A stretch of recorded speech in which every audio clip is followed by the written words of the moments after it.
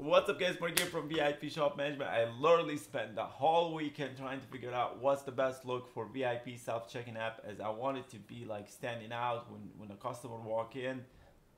Something really special, something they've never seen before. And that's what exactly I wanted. So I, I started with me trying to put some colors, you know, making the dark mode and all that. And I was like, it's still so limited then my next step was like you know what let, let, let people you know choose choose their own colors. Come in here and you know choose whatever colors they want background. So I, I designed it to fit this. Even after that it was better but it wasn't the way I wanted it.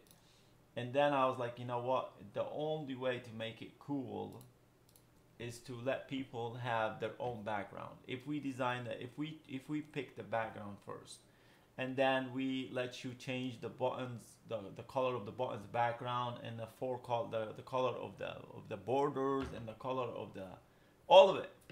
And you'll like you you will get something amazing like this. And i was like oh my god look how beautiful is this man. It's just so beautiful. I don't know what it is. I don't want to click on it because i love it how it looks like but anyway, yes, you can customize right there under. So we cleaned everything. I cleaned everything. I just wanted to be direct and you know something is beautiful because we're to be using for checkout uh, for people for customer to sign in uh, I told you about this tablet uh, $399 go get it man it's beautiful get it upgrade it to Windows 11 and anything that has HP when you go to apps and feature anything that says HP delete it and remove those programs. Why? Because they were designed for the Windows Pro uh, to optimize it. And, and Windows 11 fix all these problems and that will make it slower if you kept those. So I, I removed all this. Actually it's a lot faster now. So go get this one man. And how does it look like? Literally it's like some high-end thing. It looks better than the Surface Pro 9 but the Surface Pro 9 is faster. So keep that in mind.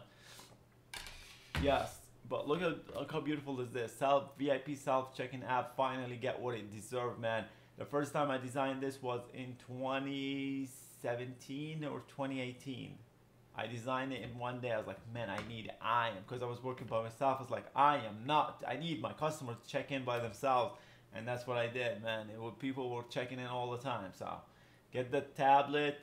Um, uh, get a nice background. Don't make sure it's not the size of the file is not too big. So resize the file first, but um, I might put some backgrounds in it. We'll figure that out, but it's just beautiful. it's just beautiful. I can't get. I don't even change it. I'm sorry. I was gonna show you some stuff. I don't want to because I love it. anyway, appreciate you guys. Thanks for watching.